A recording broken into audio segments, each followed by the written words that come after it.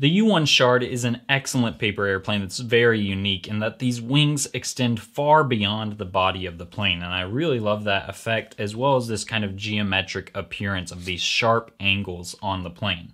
Now, this is pretty easy to fold. There's one step that's a little bit difficult, enough that I would call this an intermediate plane rather than an easy one, but it's really not that hard to fold, and it flies very well for this very weird shape that it has, and you'll see that in just a second. Now I have designed a template for this plane, so if you support me on patreon.com slash foldableflight, you can fold a plane that looks like this by downloading and printing off the template. And of course, there are over 60 other designs available as well, and that's an ever-growing library, so be sure to head over there and check that out. With all that said, let's see this plane in flight, and then I'll teach you how to fold it.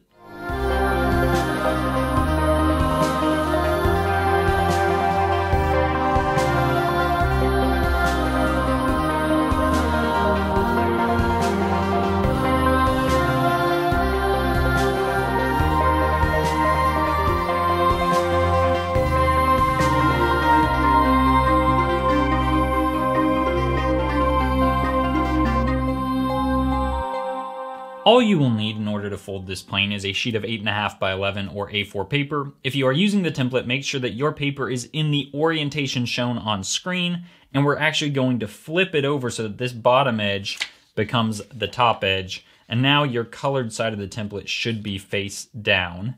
And we're going to fold this corner here to that corner there, and it is important if you're using the template that you use exactly those corners.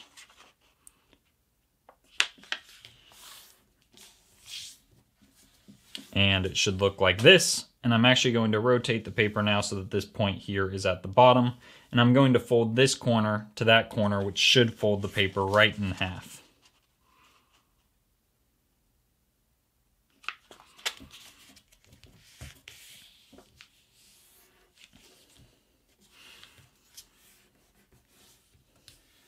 Okay, and I can open that up.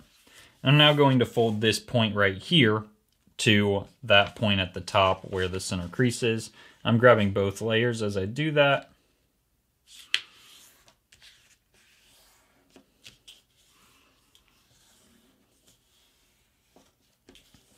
Okay, and now you can see I've got these edges here. I'm folding this over that edge and I'm just going to make a crease that runs right along it.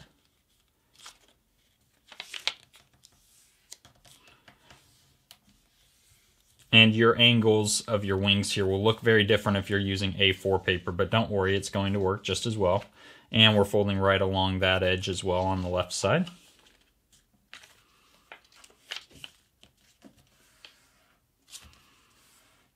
And your plane should look like this. Now we're just folding that top point down to this point here.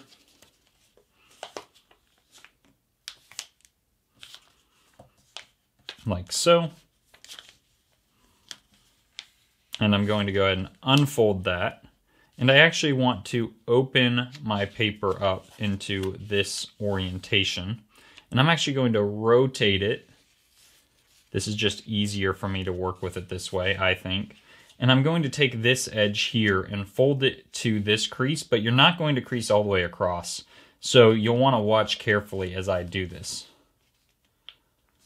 And I'll explain kind of after I make my crease here. So you can see on the left side, I've actually got a layer right there that is intersecting this edge that I'm making.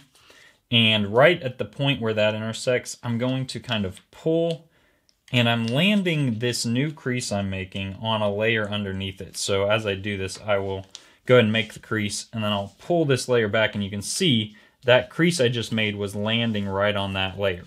So I'm creasing horizontally here when I'm pulling this edge to that crease all the way to the point where that edge intersects this new edge. And then I kind of pull that layer back and open along the layer underneath. On this side, I'm just looking for this crease. I don't have an edge here. I'm just looking for a crease that intersects that top edge. And right where that crease intersects the edge, I'm going to pull back just until I reveal the layer right underneath it. And you'll see as I make that crease, that crease is landing right on that edge there.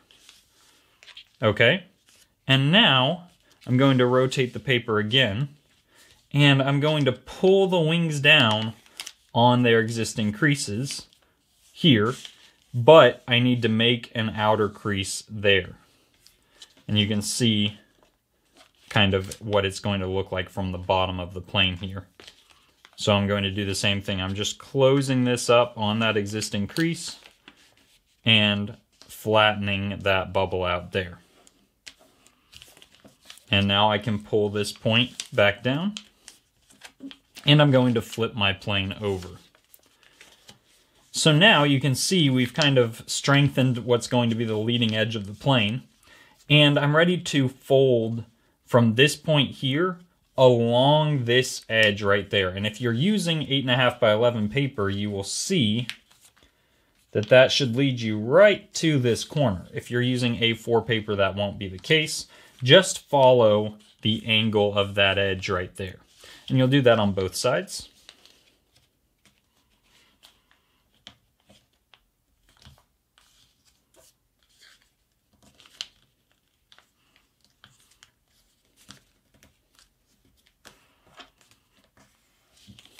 Okay, should look like that. And then I'll flip the plane over. And I'm going to fold this edge here to land on the crease I just made.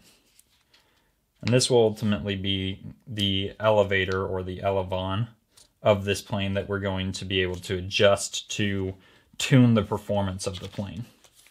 So I'll do one side, fold this edge now to that crease right there.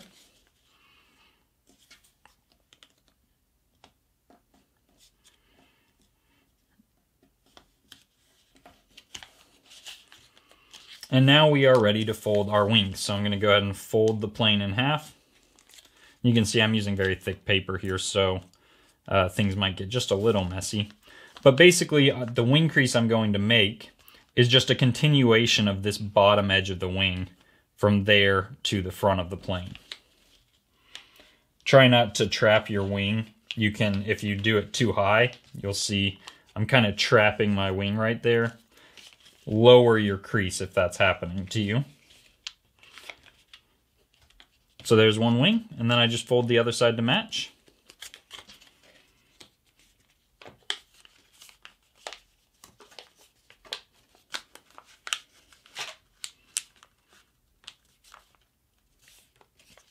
And there you go. Now all we have left to do is to kind of set the angle of the wings. And so what I like to do is I like to bend these outer sections down actually quite a bit so that they're in an orientation kind of like that.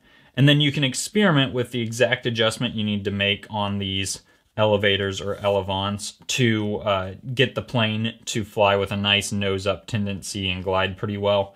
You'll notice though, because of the asymmetry of the plane, the alignment of these wings may not be exact. And you may even have to bring one elevator up higher than the other in order to get it to fly well. So if it's spiraling clockwise, then you'll need to raise the left elevator up a little higher than the right one. And of course, if it's spiraling in the opposite direction, the opposite is true. So with all of that said, thank you so much for folding this plane and good luck flying.